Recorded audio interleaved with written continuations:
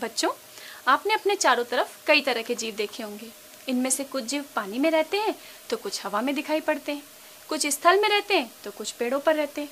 जैसे, ये देखो, कितनी सारी मछलियाँ हमें पानी में दिखाई दे रही हैं। बतख भी है, और वो किनारे कौन आराम कर रहा है? ये तो मगरमच्छ है। हवा में हमें कबूतर और मैना दिखाई दे रहे हैं। कुत्ता और बिल्ली, ये तो सामान्यतः आपने देखे ही होंगे। कुछ जीव जो होते हैं वो इतने सूक्ष्म होते हैं जो हमें सामान्य आँखों से दिखाई नहीं देते।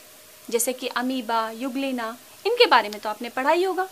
और कुछ जीव इतने विशाल, अरे बाप रे, ये देखो, इतना बड़ा गजराज, हाथी चला आ रहा है। और ब्लू वेल उसके बारे में भी आपने सुना होगा कि वो कितनी विशाल होती है। तो आपने देखा, हमारा जीव जगत कितना विचित्र और कितना विशाल है। इसके अलावा आपके चारों तरफ़ ये पेड़ पौधे बरगद का पेड़ आपने देखा है? कितना विशाल होता है। और आपके तरफ़ चारों तरफ़ फैली हुई ये घास कितनी छोटी होती है। कुछ पौधे जो होते हैं, वो पानी में उगते हैं और कुछ रेगिस्तान में।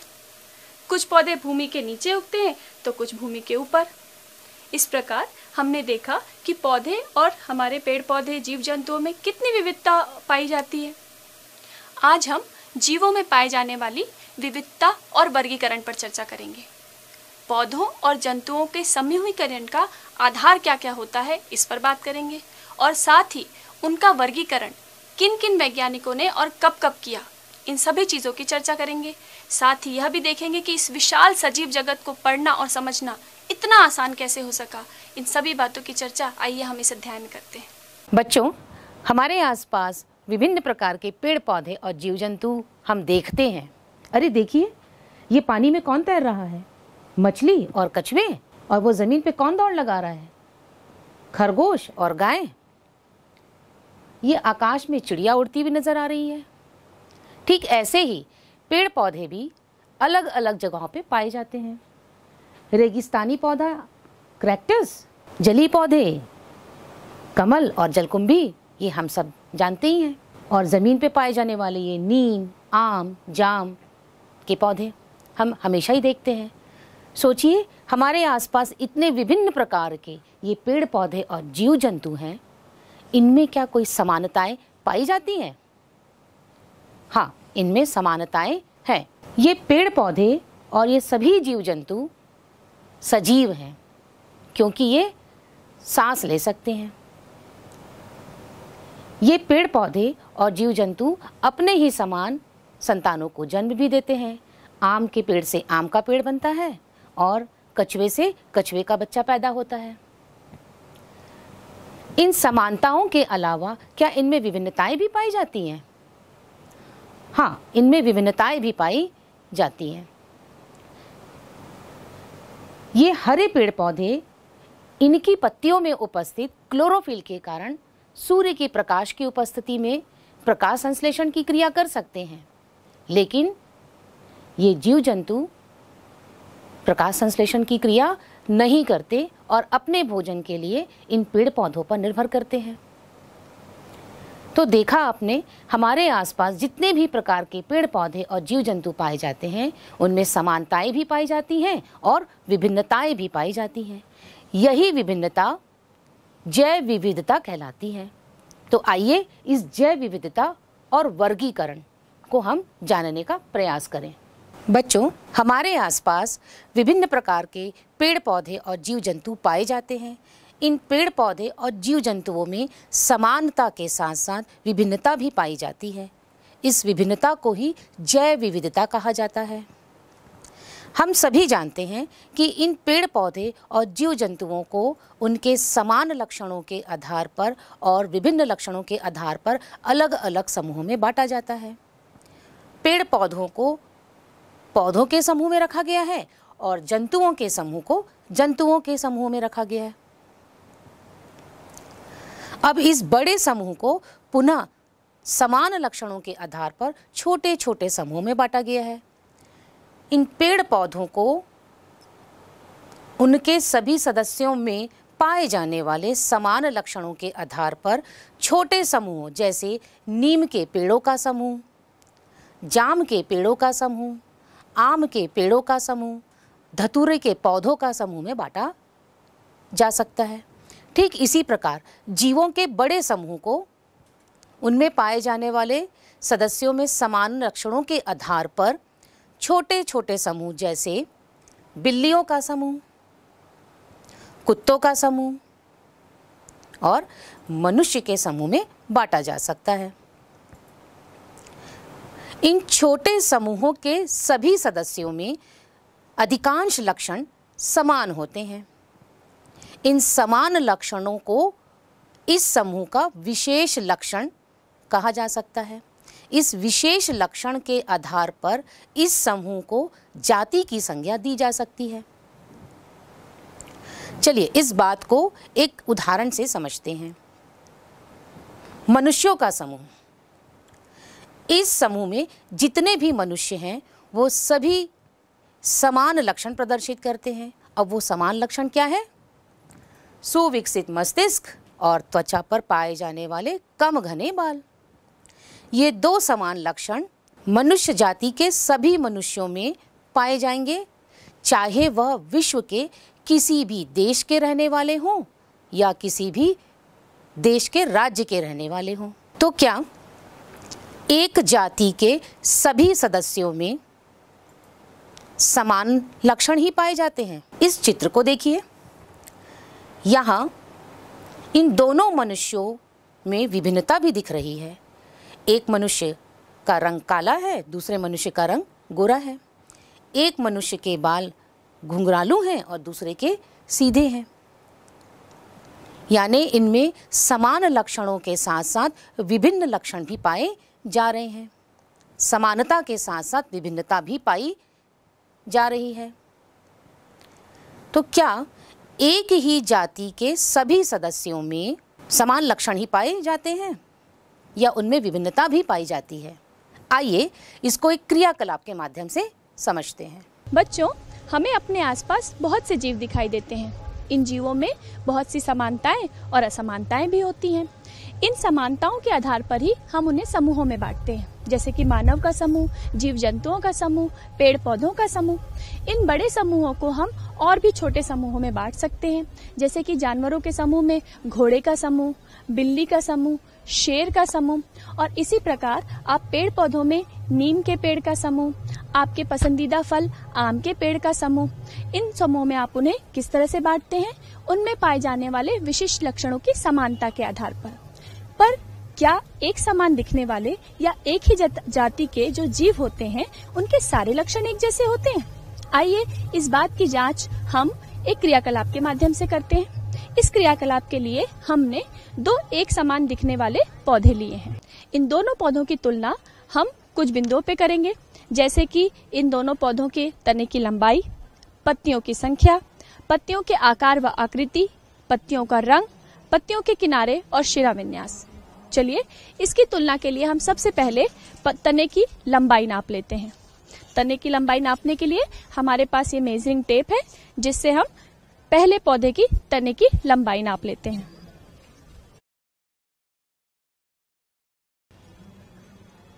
ये देख सकते हैं आप कि हमें तने की लंबाई 26 सेंटीमीटर प्राप्त हुई है। ठीक है? तो आइए हम इसे नोट कर लेते हैं।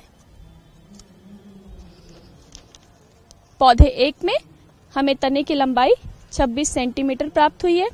इसी प्रकार, हमें दूसरे पौधे की तने की लंबाई भी नापनी होगी। दूसरे पौधे की तने की लंबाई हम ले लेते हैं।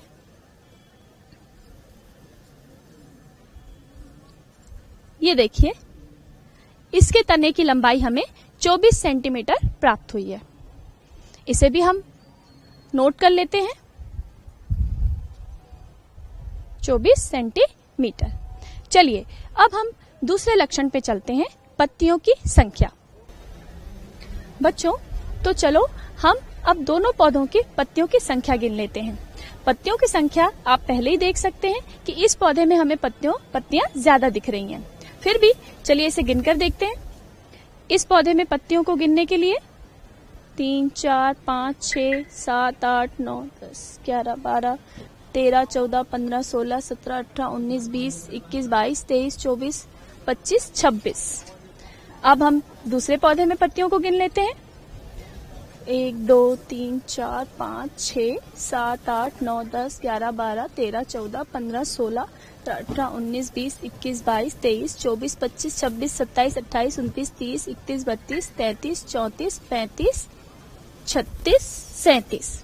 सैतीस। इसका मतलब हमें दोनों पौधों में पत्तियों की संख्या अलग अलग प्राप्त हुई है। इसे भी हम नोट कर लेते हैं।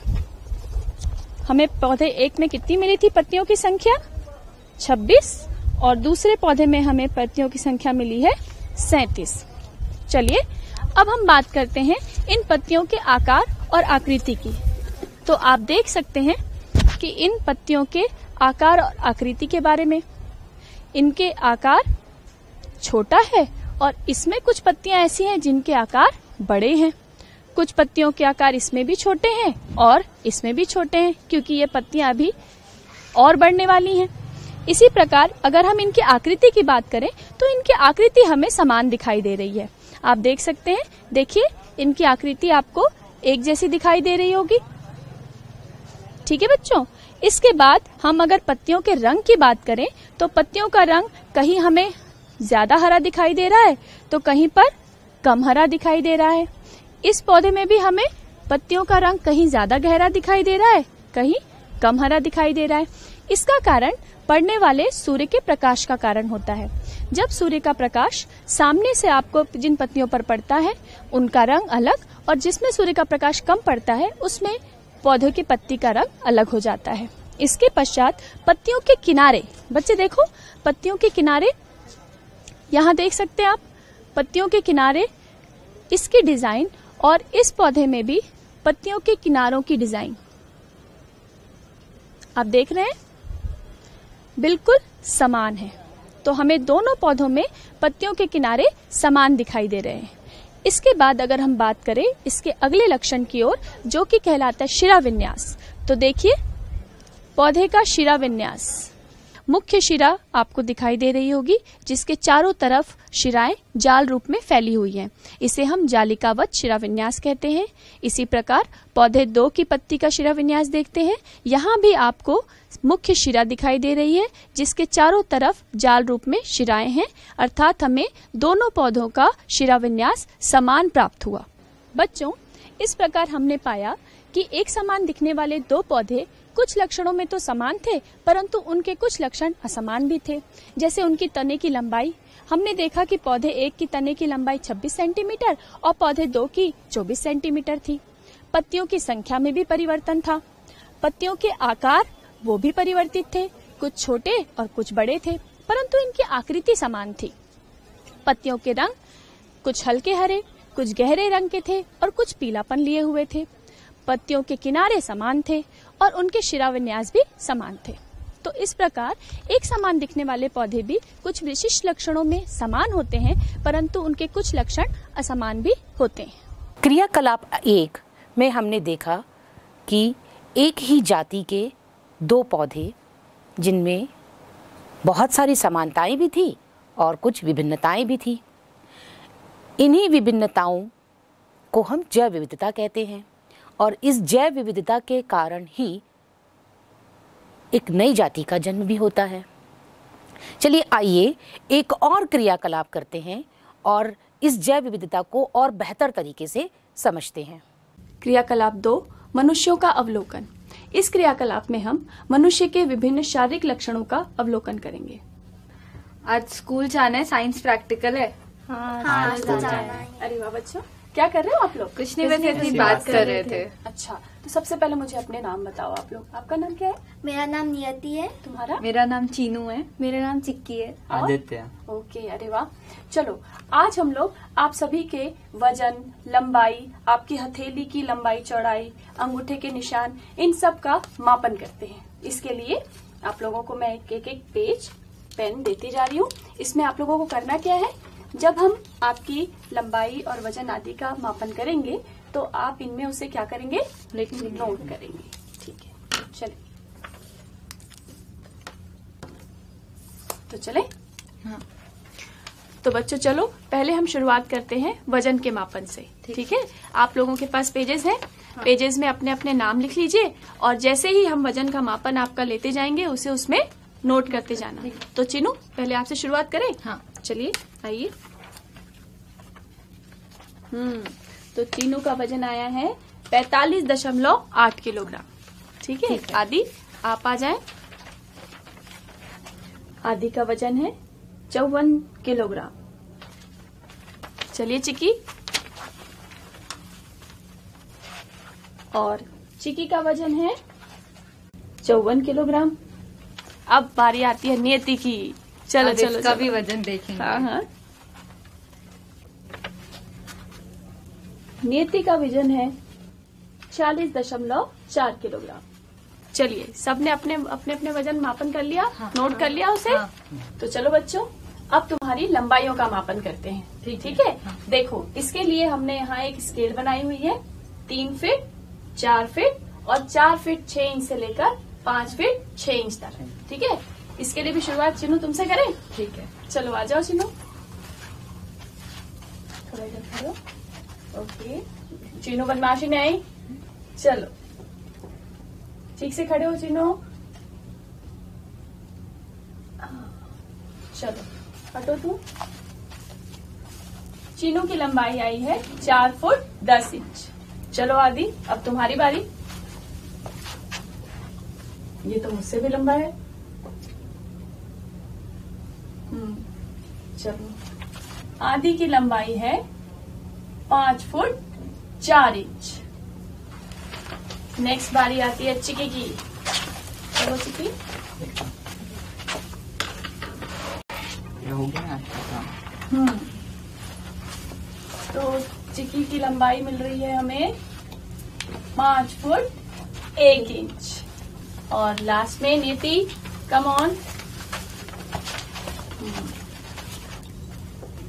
चिकी की लंबाई भी उतनी ही आ रही है। चलो देखते हैं। चिकी की लंबाई भी वही है। पाँच फुट एक इंच। तो चलो बच्चों अब हम तुम सभी की हथेलियों की लंबाई और उसकी चौड़ाई नापते हैं ठीक है? तो चलो चीनू पहले अपना हाथ सामने लाओ। चीनू की लंबाई हथेली की लंबाई है 16 सेंटीमीटर। और इसकी चौड़ाई हथेली की है सात सेंटीमीटर। ठीक है? अच्छा चलो, तुम्हारी तर्जनी उंगली भी नाप लेते हैं। ये है छह सेंटीमीटर। चलो, नोट कर लो चिन्ह।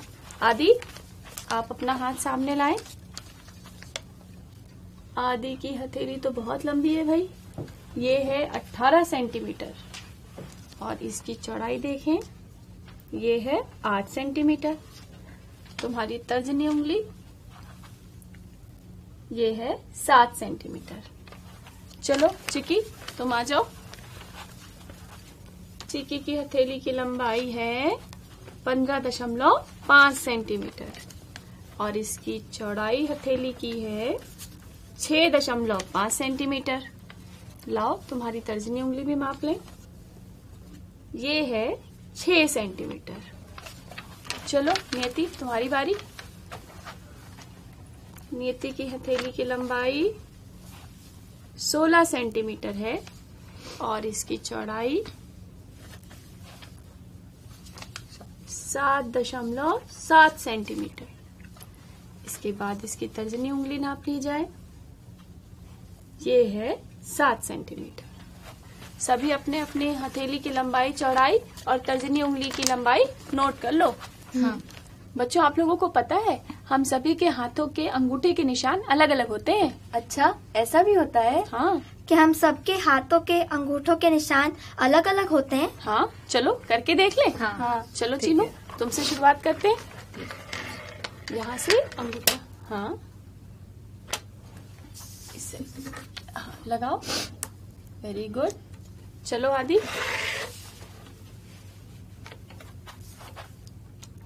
वेरी गुड चलो चिक्की अब तुम्हारी बारी। वेरी नाइस चलो नियति। वेरी गुड तुम सभी के अंगूठे के निशान अलग अलग हैं। चिक्की तेरा दिखा मैम हम दोनों का तो एक जैसा ही है। बेटा इसे पहले लेंस से बारीकी से देखना होता है तभी हम इसका अंतर समझ पाते हैं। चिक्की और चीनू की तरह जितने भी मनुष्य हैं, उनके अंगूठे के निशान अलग अलग होते हैं। तो इस क्रियाकलाप से हमने यह देखा कि एक ही जाति के सदस्यों में समानता के साथ साथ अंतर भी पाए जाते हैं। इन्हीं अंतर को हम विभिन्नताएँ कहते हैं। इन विभिन्नताओं के कारण ही हम एक ही जाति के सदस्यों को व्यक्तिगत स्तर पर पहचान पाते हैं।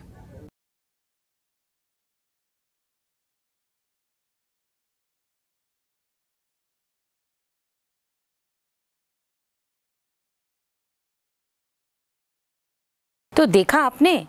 क्रियाकलाप एक और क्रियाकलाप दो।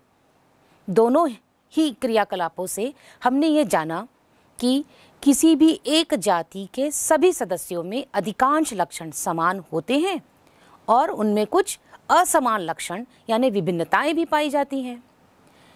इन्हीं विभिन्नताओं को ही हम जैव विविधता कहते हैं। ये विभिन्नताएँ ही उस जाति के सदस्यों की विशेष लक्षण होते हैं और उस जाति के सदस्यों की व्यक्तिगत पहचान भी होती है। किसी भी क्षेत्र विशेष में पाए जाने वाले विभिन्न प्रकार के पेड़ पौधे और जीव जंतुओं में समानता के अलावा विभिन्नता का पाया जाना ही जैव विविधता है। इसी जैव विविधता को आधार बनाकर किसी विशेष जाति के सदस्य के बारे में अध्ययन किया जा सकता है। और उनको और भी छोटे छोटे समूहों में बांटा जा सकता है। तो आइए अब एक और क्रियाकलाप के माध्यम से समझते हैं कि इतने सारे जीव जंतु जिसमें इतनी सारी विविधता पाई जा रही है, उनको किस तरह से छोटे छोटे समूहों में बांटकर उनका वर्गीकरण किया जा सकता है? और उनके बारे में गहन जानकारी इकट्ठा की जा सकती है। बच्चों, आप अपने आसपास बहुत सी वस्तुएँ देखते हैं। इन वस्तुओं का उपयोग हम अपने दैनिक जीवन में भी करते हैं। इन वस्तुओं का उपयोग करने के लिए, इन पर चर्चा करने के लिए और इनका अध्ययन करने के लिए हम इनके समूह बनाते हैं। इन वस्तुओं का समूह बनाने के लिए उनमें समान गुण को देखा जाता है। उनके समान गुणों के आधार पर ही हम उनका समूह बना पाते हैं या समूहीकरण कर पाते हैं। हमारे पास यहाँ कुछ वस्तुएँ हैं, जैसे कि लकड़ी की स्केल रबर की गेंद, प्लास्टिक की स्केल कांच का टुकड़ा लेंस परख नली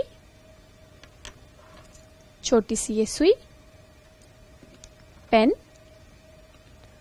लकड़ी का गुटका प्लास्टिक का सामान रस्सी लकड़ी का ये बैट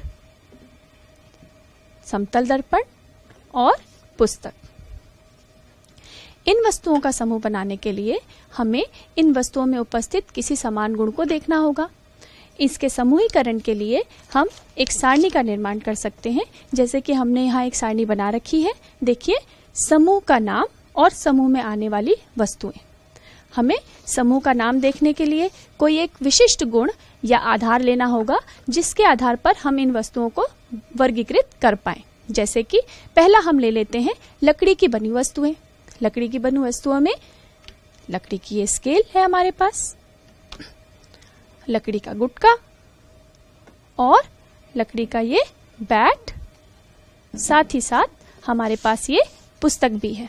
बच्चों, ये पुस्तक भी लकड़ी की ही बनी हुई है। तो आइए इसकी हम सारणी में प्रविष्टि कर लें। हमारे पास समूह का हमारा नाम है लकड़ी की बनी वस्तुएँ।